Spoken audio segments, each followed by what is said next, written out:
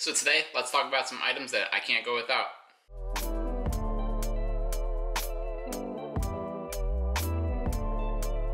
So my first item is gonna be my fly rod. This one specifically is an eight weight professional series two Temple Fork Outfitters fly rod. I've been using this ever since I started fly fishing, which was five, six years ago. I absolutely love this rod. I've caught everything from tarpon to panfish on this rod. It's been a great little rod. So yeah, this is kind of what I learned to fly fish on. And the one tip I would have for any beginner fly fisherman out there is right off the bat, you're gonna wanna invest more into the rod and your line than the reel or anything else you really have. And yeah, that's gonna be our first item.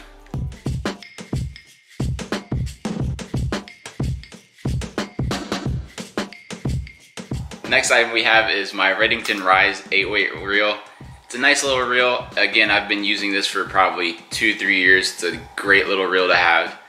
And yeah, it's it's done a lot. It's caught, again, it's caught me everything from panfish to nice little size tarpon. And yeah, it's been with me for a while. You can see it's got little scratch marks. Just really cool. but yeah, that's gonna be my second little item right there. Wouldn't go out on the water without this guy.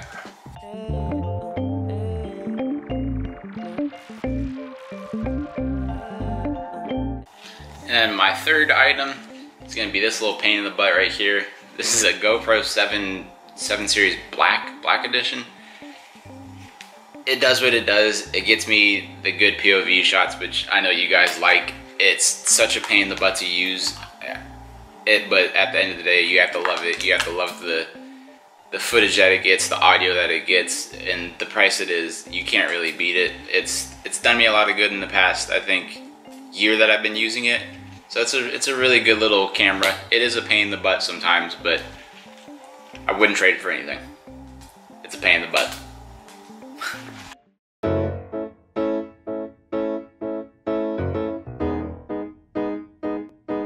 For number four, it's gonna be simple little uh, sling pack here. This, is, ooh, there we go. Already got crap in there. this one specifically is a Patagonia Atom A8L. It's a really good little pack to have if you are somebody that doesn't really like to pack a lot of stuff, doesn't really like to be weighed down by a lot of fishing gear, you like to go wading or anything like that. It's a really good little pack to have. You have little, you have this little guy right here, which is really nice, this little compartment. And on inside here, another little compartment with more stuff in there. You have this little thing which you can put tools in here to make your life a little easier.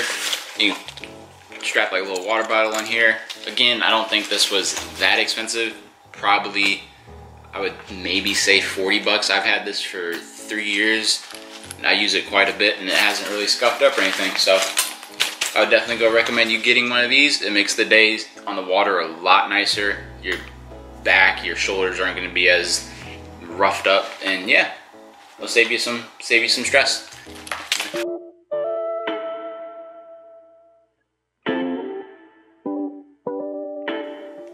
Fifth item, I'm gonna be throwing some Rio 16 pound tippet. I've been using this a lot lately. For what I do personally, this works really great. You guys will probably learn real quick like tippet and line are really important and finding which tippet and line are perfect for you is kind of challenging. Like I said, for what I do, I like this 16 pound Rio Test uh, tippet. It's really good. I like fishing for bass, so obviously. but yeah, it take it probably took me a good year to kind of figure out which tippet I like throwing a lot.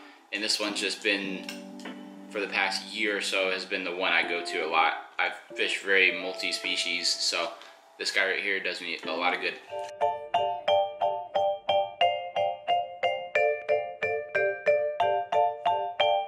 Probably one of the most important things you could ever carry with you as a fly fisherman are these guys right here, hemostats. These guys are really important. If a fish chokes it, it's a hell of a lot easier trying to use these to get them out than it is trying to use your hands or a stick you find on a tree. These guys run you maybe like nine to like 15 bucks if you're fancy. These were fancy. They had like the gold plating on them and as you can maybe tell, they have obviously gone down. Not gold anymore. Hmm. Wonder if that's marketing. But yeah, these guys are really, really handy. They've got me out of a lot of trouble. You're not gonna kill any fish if you have these on you, and you should go get them.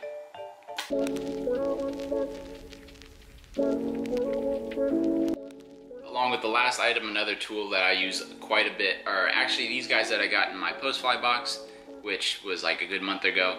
These little line shears. So I used to use, uh, as a lot of you guys probably use uh, nail clippers a lot. They run you like 50 cents. They're nice, but I would definitely recommend investing in a nice pair of like just line cutters like these. These guys are really heavy duty. They're really easy to hold, everything. They have nice little ergo ergo ergonomic grips. Good God. and yeah, they're really nice. They're really heavy duty. And I'll probably be using these guys for a lot longer than I would nail clippers, which tend to break every now and then. You gotta go buy a pair. It's a pain in the butt. But yeah, these guys are really nice. Next item is gonna be my Free Fly bamboo hoodie. It's really nice. I like the style of it. It's really cool. It has little finger grips on these guys so you don't have to burn your hand when you're out in the water. If I can find it, it has a little pocket that you can fit like little dry flies or whatnot in there. Really nice. And obviously you have a hood, slips right over your hat if you wear one. Really comfortable. It'll definitely save you from getting sunburned out there. It's really nice. It's saved me from really hot days.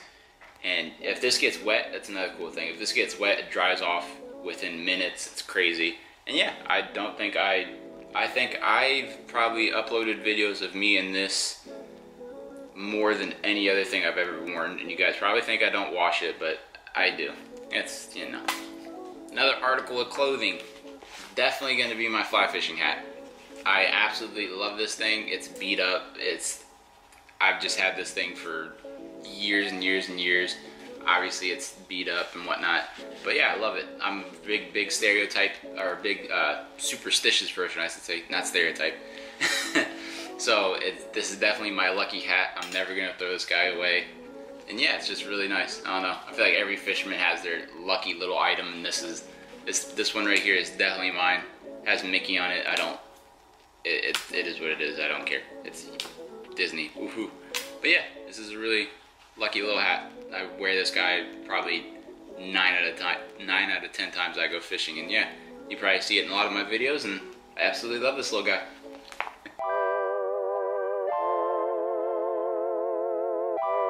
So for the last item, it's actually gonna be my fly fishing journal, which I've been working on this for the past, I'd say four years. I started it kind of late, but it's literally just everything that I've ever learned about fly fishing or any questions I've ever had.